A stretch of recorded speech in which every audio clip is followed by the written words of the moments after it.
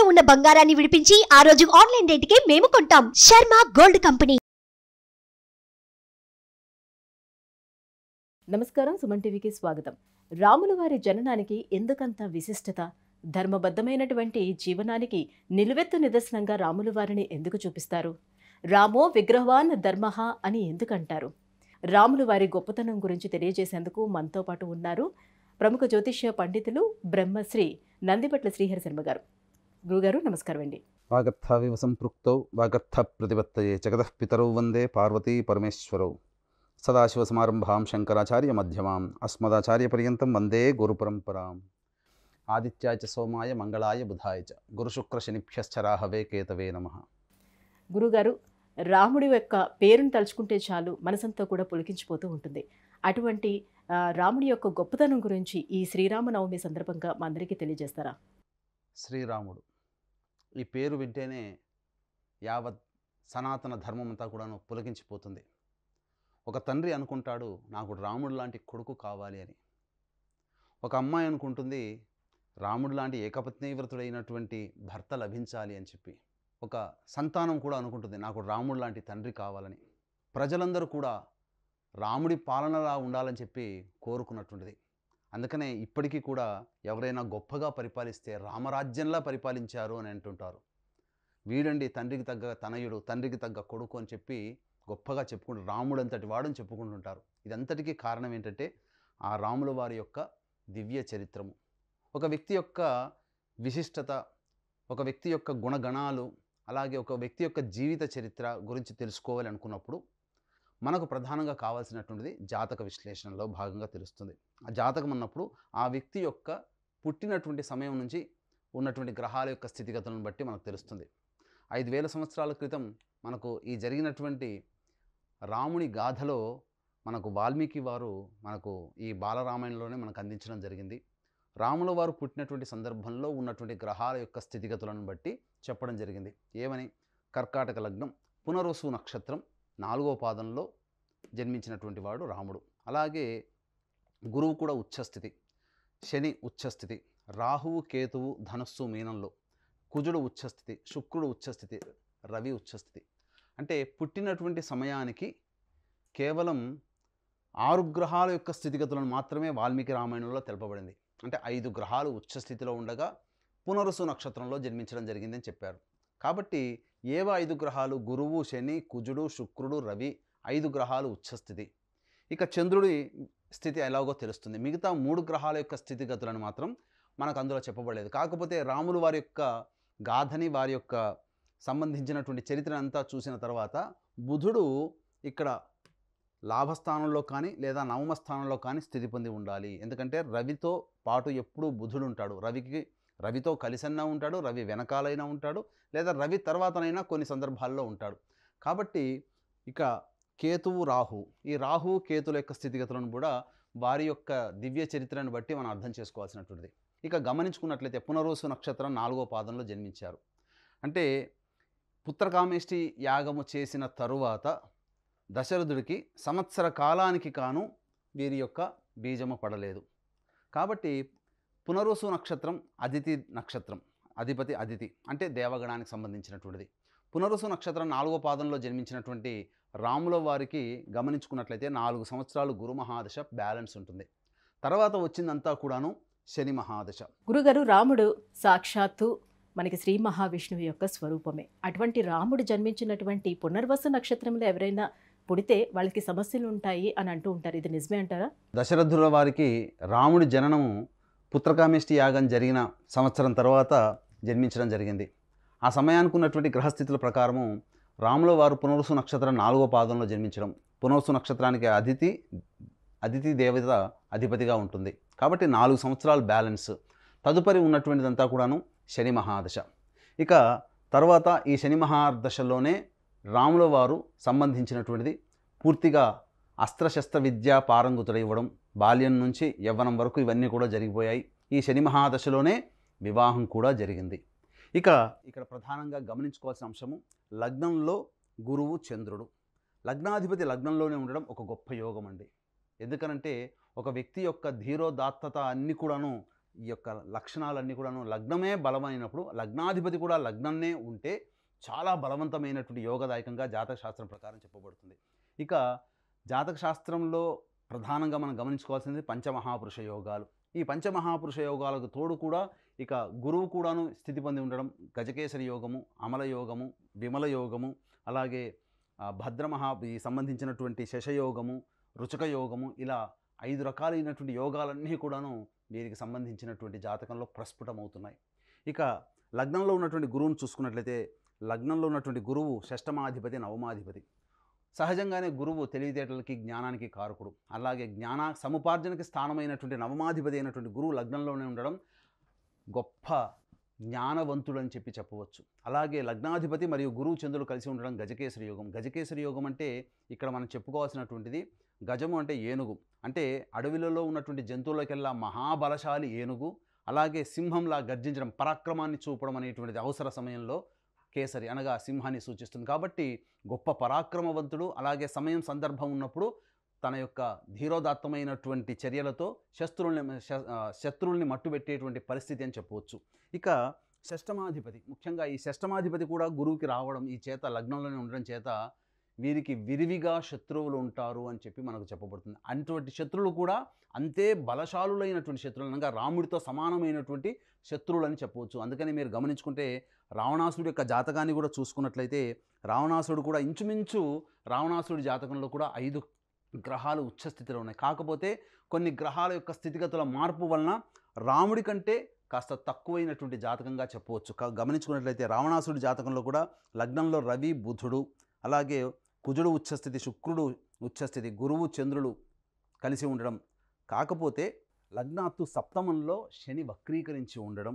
అలాగే ఇక్కడ రాహుకేతుల యొక్క ప్లేస్మెంట్స్ చే చేరిపోయాయి. రాహు మిథునంలో కేతువు ధనుస్సులో.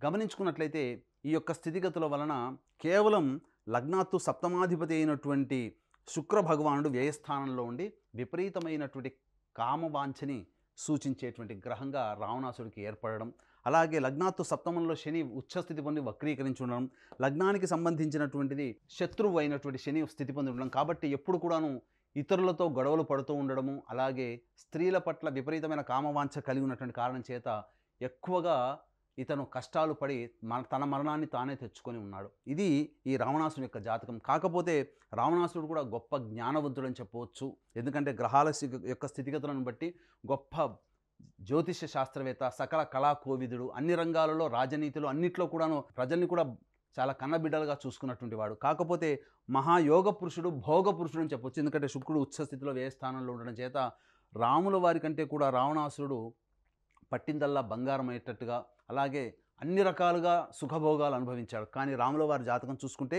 ఇక్కడ గమనించుకున్నట్లయితే షష్టమాధిపతి శత్రుస్థానాధిపతి అయినటువంటి గురువు లగ్నంలోనే ఉండడం శత్రుస్థానంలో రాహు ఉండడం అలాగే ఇక్కడ కుజుడు లగ్నాన్ని వీక్షించడం ఈ కారణం చేత అతని యొక్క ఆయుధము ధనుస్సు అయింది. ఎందుకనంటే ధనుస్సు రాశి అధిపతి అయినట్టుగా యుద్ధానికి ప్రతీక అయినటువంటి షష్టమ స్థానాధిపతి లగ్నంలో ఉండడం ఈ కారణం చేత ధనుస్సు ఆయుధంగా పట్టి మనకు ఎల్లవేళలా అదే అలాగే కనిపిస్తుంటాడు. అందుకని మీరు గమనించుకున్నట్లయితే రాముల వారిని చూసుకుంటే ఎల్లప్పుడూ ధనుర్ధారి అయి ఉన్న చిత్రపటములే మనకు ఉంటాయి తప్ప కృష్ణుడు రాధ కృష్ణుడు అలాగే సత్యభామలాగా ఉన్నట్టుగా కనిపించవు. కారణం ఏంటంటే ధనుర్ధారి అయినటువంటి రావణుడు ఎందుకంటే ధనుర్ధ ఎప్పుడూ ధనుస్సుని పట్టుకుంటాడంతే శత్రువుల్ని చీల్చి చెందడానికి ప్రతీక అయినటువంటి విధంగా ధనుస్సుని ధరించి ఉంటాడు. ఇక ఈ రాముల వారి జాతకంలో గమనించుకున్నట్లయితే ప్రధానంగా బాల్యంలో ఎక్కువగా బయటికి వెళ్ళి విద్యను అభ్యసించడం అలాగే బయట ఉన్నటువంటి దుష్ట శిక్షణ చేసి రావడం అనేటువంటిది శని మహాదశలో జరిగింది. ఇక్కడ గమనించుకున్నట్లయితే చతుర్థ స్థానము తల్లి స్థానము అలాగే విద్యాస్థానము ఇక్కడ సప్తమ అష్టమాధిపతి అయినటువంటి శని చతుర్థ స్థానంలో ఉచ్చస్థితి పొంది ఉండడం అలాగే చతుర్థాధిపతి అయినటువంటి శుక్రుడు భాగ్యస్థానంలో ఉచ్చస్థితి పొంది ఉండడం ఈ కారణం చేత ప్రధానంగా శని మహాదశలో తన గృహం నుంచి బయటికి వెళ్ళడం జరిగింది చిన్నతనంలోనే. వెళ్ళి జ్ఞాన సముపార్జన విద్యా సముపార్జన చేసి తిరిగి ఆ విద్యా సముపార్జన చేసి దుష్ట శిక్షణ చేసి వస్తున్నటువంటి క్రమంలోనే వివాహం కూడా శని మహాదశలోనే జరిగింది. కాబట్టి ఇక్కడ గమనించుకోవాల్సినటువంటి అంశం ఏంటంటే ఈ శని మహాదశలో ప్రధానంగా ఈ వివాహం కూడా జరిగిపోవడం ఒక గొప్ప యోగంగా చెప్పవచ్చు. అయితే వీరి వివాహ స్థానానికంటే ముందు తల్లి స్థానంలో ఉన్నటువంటి చిన్నపాటి దోషం ఎందుకనంటే ఇక్కడ ప్రధానంగా ఈ సంబంధించినటువంటి తల్లి ఈ యొక్క అనక కౌసల్యాదేవి జన్మనిచ్చిన కైకేయి చాలా గొప్పగా ప్రేమగా పెంచింది. కానీ తల్లియే కారణమైంది వనవాసాలకు వెళ్ళడానికి. ఇక్కడ కారణం ఏంటంటే వివాహము అయిన తరువాత సంబంధించి చూసుకున్నట్లయితే మాతృస్థానంలో అష్టమాధిపతి అయినటువంటి శని భగవానుడు ఉండడం అలాగే మాతృస్థానాధిపతి శత్రుక్షేత్రంలో స్థితి పొంది ఉండడం ఉచ్చ స్థితి పొంది ఉండడం ఈ కారణం చేత తన తల్లికి ఇచ్చినటువంటి మాట ప్రకారమే తల్లి ద్వారా నోట వచ్చినటువంటి మాట ప్రకారమే అతను వనవాసానికి వెళ్ళాల్సినటువంటి భార్య స- సోదర సమేతంగా వనవాసాలకు వెళ్ళాల్సినటువంటి పరిస్థితి అని చెప్పవచ్చు. ఇక గమనించుకున్నట్లయితే తృతీయాధిపతి అయినటువంటి బుధుడు లాభస్థానంలో స్థితి పొంది ఉండడం ఇది విశేషించి సోదరులకి ఈ రాముడు అంటే చాలా విపరీతమైనటువంటి వల్లమాలిన ప్రేమ అని చెప్పవచ్చు. అందుకనే లక్ష్మణుడు కూడా అంటిపెట్టుకొని ఈ యొక్క రాముల వారితో ఉండడం జరిగింది. ఇక ప్రధానంగా వీరి జీవితంలో రాముల వారి జీవితంలో సీత అమ్మవారు చాలా గొప్ప పాత్ర పోషించిందని చెప్పవచ్చు. అంటే ఇక్కడ గమనించుకున్నట్లయితే లగ్నాత్తు సప్తమ స్థానంలో కుజుడు ఉచ్చస్థితి పొంది ఉండడం. ఈ కారణం చేత ఒక రకంగా జ్ఞాత జాతకశాస్త్ర ప్రకారం మనకు చెప్పదలిచినటువంటిది ఏంటంటే లగ్నాత్తు వివాహ స్థానంలో కుజుడు కనుక ఉన్నట్లయితే ఎడబాటుని సూచిస్తాడు. ఎందుకంటే పాపగ్రహమైనటువంటి కుజుడు భాగస్వామ్య స్థానంలో ఉండడం ఎడబాటుని సూచిస్తాడు. ఈ ఎడబాటు కారణం కూడా ఒక లోకోత్తరణకే అని చెప్పి మనం చెప్పుకోవాలి. అయితే సీత అమ్మవారు కూడా అంత గొప్ప శక్తివంతురాలు ఎందుకనంటే సీత అమ్మవారిని వరించింది ధనుర్భంగాన్ని చేయడం ద్వారా అనగా శివధనుస్సుని విరవడం ద్వారా. అంటే సీతమ్మవారి తండ్రి జనకుల వారు ఒక సందర్భంలో చూశారు సీ శివధనుస్సుని అవలీలగా ఎత్తిన తర్వాత నా కూతురంతటి పరాక్రమంతో సమానమైనటువంటి వాడితో వివాహం జరిపించాలని చెప్పి శివధనుస్సుని విరిచినటువంటి వ్యక్తిచే ఈ యొక్క అమ్మాయిని వివాహం చేస్తానని చెప్పి రాయబారాన్ని పంపడం ఈ విధంగా స్వయంవరం ప్రకటించడం ఆ విధంగా రాముల వారు విశ్వామిత్రుల వారితో సహా వెళ్ళి ఈ విధంగా అమ్మవారిని చేపట్టడం జరిగింది. దీని కారణము సప్తమాధిపతి అయినటువంటి శని ఉచ్చస్థితిలో ఉండడం శని ఉన్నటువంటి రాష్ట్రాధిపతి అయినటువంటి శుక్రుడు భాగ్యస్థానంలో ఉచ్చస్థితి పొంది ఉండడం ఈ కారణం చేత సీతమ్మవారు కూడా సమానమైనటువంటి శక్తివంతురాలు అని చెప్పడం జరిగింది. అయితే ఇక్కడ ప్రధానంగా గమనించాల్సినటువంటి అంశం ఏంటంటే కుటుంబాధిపతి అయినటువంటి రవి చక్కగా ఉచ్చస్థితిలో ఉండడం ఈ రవి దశమ స్థానంలో ఉండడం పరాక్రమాన్ని దశ దశ దిశలా వ్యాప్తింపజేయడం అనేటువంటిది జరుగుతుంది. అయితే ఇక్కడ ఓవరాల్గా గమనించుకున్నట్లయితే బుధ మహర్దశ రాగానే వీరు ఉన్నటువంటి గ్రామం నుంచి అనగా రాజ్యం నుంచి బయటికి వెళ్ళాల్సినటువంటి పరిస్థితి. దేనికి అధిపతి? లగ్నాత్తు తృతీయ వ్యయాధిపతి అయినటువంటి బుధుని యొక్క దశ ప్రారంభమైంది. మొట్టమొదట పుట్టడంతోనే నాలుగు సంవత్సరాలు గురు మహాదశ పంతొమ్మిది సంవత్సరాలు శని మహాదశ. శని మహాదశ అయిపోగానే బుధ మహర్దశ ప్రారంభమైంది. అనగా చూసుకున్నట్లయితే పంతొమ్మిది ప్లస్ నాలుగు ఇరవై మూడు. ఇరవై మూడు సంవత్సరాలలో తర్వాత భార్యతో సహా అనగా వివాహమైంది. ఇరవై మూడు సంవత్సరాల లోపలనే వివాహం అయిపోయింది రాముల వారికి ఎందుకనంటే సప్తమాధిపతి వివాహ స్థానాధిపతి దశలోనే వివాహం జరిగింది. కానీ వివాహం జరిగిన తర్వాత మన సినిమాలో చూస్తే నాటకీయంగా వెంబడి వెళ్ళిపోయారని అంటారు. కానీ వివాహం జరిగిన తర్వాత కూడా కొంతకాలం సంసారం చేశారు. అయితే ఇక్కడ వివాహం జరిగిన తర్వాత వనవాసానికి వెళ్ళేటువంటి సమయంలో అమ్మవారు చెప్పింది. వనవాసానికి వెళ్ళే సమయంలో మమ భర్తృ వర్షాత్ పంచవింశతి మమ వర్ష అష్టావింశతి అని చెప్పింది. అంటే ఏంటి? వనవాసానికి వెళ్ళేటువంటి సమయంలో నా భర్త వయస్సు ఇరవై ఐదు సంవత్సరాలు నా వయస్సు పద్దెనిమిది సంవత్సరాలు అని చెప్పి అమ్మవారు చెప్పింది. కానీ చాలామందికి ఈ రోజుల్లో ఉన్నటువంటిది ఏంటంటే రాముల వారి కంటే సీత అమ్మవారు పెద్దదేమో అని చెప్పి ఒక నానుడు కూడా ఉంది. తప్పండి. రాముల వారు వనవాసానికి వెళ్ళే సమయంలో రాముల వారికి ఇరవై ఐదు సంవత్సరాలు ఉన్నాయి. ఆ సమయానికి అమ్మవారికి వివాహమై అమ్మవారికి వనవాసానికి వెళ్ళే సమయంలో పద్దెనిమిది సంవత్సరాలు ఉన్నాయి. కాబట్టి బుధ మహర్దశలో వీరు వనవాసానికి వెళ్ళడం ఈ బుధ మహర్దశలోనే సంహరించి రావడం ఎవరిని? రావణాసుర సంహారం కూడా జరిగి ఈ యొక్క భూలోకాన్ని రక్షించడం జరిగింది. అయితే విచిత్రంగా చూసుకున్నట్లయితే రాముల వారి జాతకంలో పితృదోషము కూడా ఉంది. అందుకనే ఈ పితృశాప ప్రభావమే రాముల వారి జాతకాన్ని వెన్నంటింది కాబట్టే వనవాసానికి వెళ్ళిన తరువాత రాముల వారి జాతకంలో బుధ మహాదశలో రవి అంతర్దశలో ఉన్నప్పుడు అప్పుడు తండ్రి మారకం జరిగింది. తండ్రి మారకం జరిగిన తర్వాత కన్న తండ్రి యొక్క దగ్గరుండి ఉత్తర క్రియలు చేయలేకపోయారు. అనగా తండ్రి యొక్క ఉత్తర క్రియలు చేయలేకపోవడం అనేటువంటిది చాలా దురదృష్టకరం. కొడుకు పెద్ద కొడుకు బ్రతికుండగా. అలాగే తండ్రి కూడా మరణించడం జరిగింది. ఎందుకు ఈ పితృదోషం అని అన్నానంటే ఈ పితృదోషం ఉన్నటువంటి లక్షణాలు కలిగినటువంటి వ్యక్తుల జాతకాల్లో తల్లికి తండ్రికి ఎడబాటు ఎప్పుడూ ఉంటుంది ఈ యొక్క సందర్భంలో. కాబట్టి తల్లిదండ్రుల ఎడబాటుని ఈ రాములవారు పొందారు. సంతానాన్ని కూడా తన కడుపున పుట్టినటువంటి సంతానాన్ని కూడా వృద్ధిలోకి వచ్చి గొప్ప పరాక్రమవంతులు అయిన తర్వాత చూసుకోగలిగాడు. ఒకసారి మనం రామాయణాన్ని గమ గమనించుకున్నట్లయితే ఉత్తర రామాయణంలో మనకు తెలియజేస్తుంది అమ్మవారు గర్భవతి ఉండగానే అడవులకు వెళ్ళడం జరిగింది.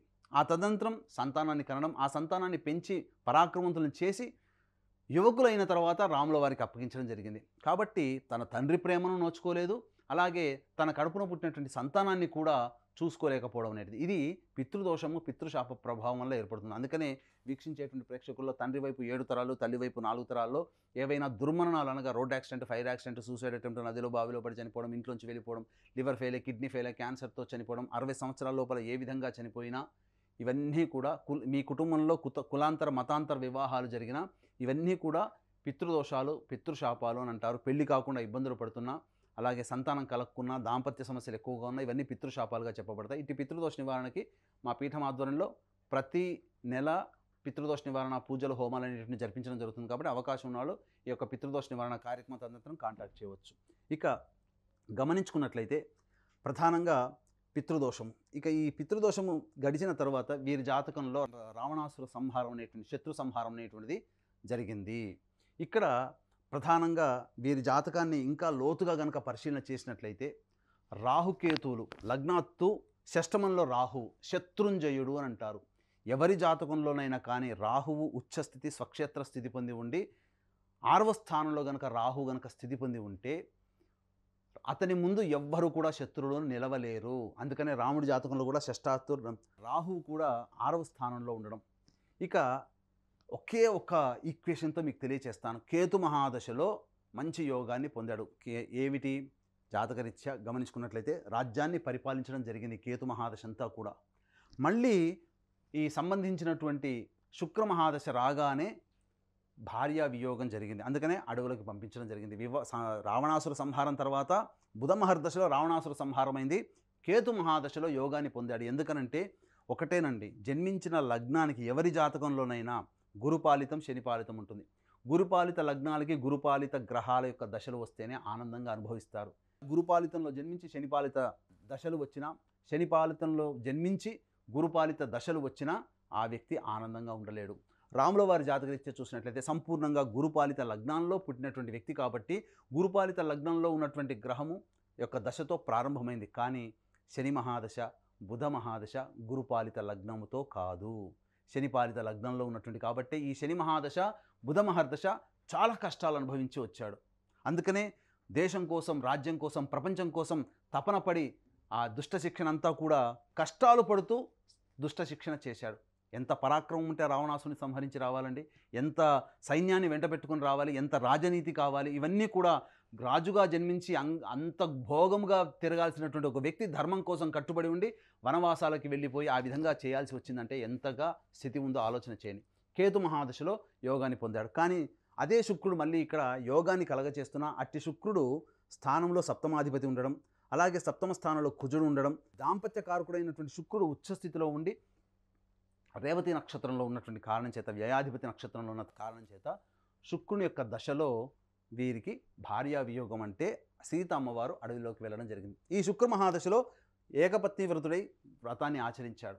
ఈ తదనంతరం శుక్ర మహాదశ తర్వాత రవి యొక్క దశ ప్రారంభంలో తన యొక్క అవతార సమాప్తి అనేటువంటిది జరిగింది. కారణం ఏంటంటే మారకాధిపతి అయినటువంటి రవి ఉచ్చస్థితి పొంది ఉండడం అలాగే మారక స్థానాధిపతి అయినటువంటి శని చేత వీక్షించబడడం ఈ కారణం చేత వారికి రవి మహాదశలో మారకం జరిగింది అని చెప్పవచ్చు. కాబట్టి ఇంతటి గొప్పదైనటువంటి ఆ యొక్క శ్రీరాముల వారు ఈ యొక్క శ్రీరామ నవమి రోజున వారి జాతకాన్ని చూడడం కానీ వారి జాతకం గురించి తెలుసుకోవడం కానీ లేదా వారి గురించి వినడం కానీ చేసిన వారి యొక్క జీవితం ధన్యమని చెప్పవచ్చు రాముల వారిని తరిస్తేనే మనకు కూడా రాముల వారు ఎన్ని కష్టాలు పడ్డారో అటువంటి కష్టాలన్నీ కూడాను రాముల వారి జాతకాన్ని చూసినంత మాత్రమే కష్టాలు దూరం అవుతాయని చెప్పడంలో ఏమాత్రం సందేహం లేదు. గురుగారు శ్రీరామనవమి సందర్భంగా రాములు వారి యొక్క గొప్పతనం గురించి మా అందరికీ తెలియజేసినందుకు ధన్యవాదాలండి.